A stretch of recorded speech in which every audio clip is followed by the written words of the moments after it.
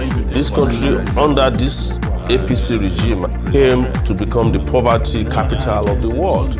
It became the place where the minimum wage became the miserable wage for workers.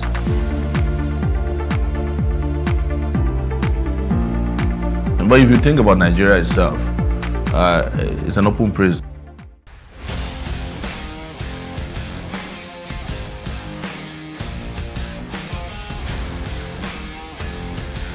You know, embassies all over the if your country is not in order, you don't have a foreign policy, period.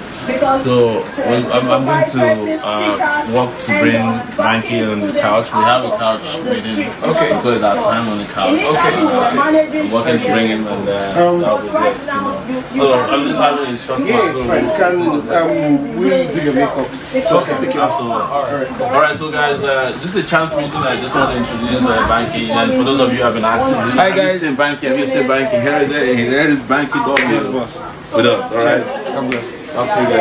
Nigeria, they use computer. The leaders of Nigeria, they use radio where they turn the knob.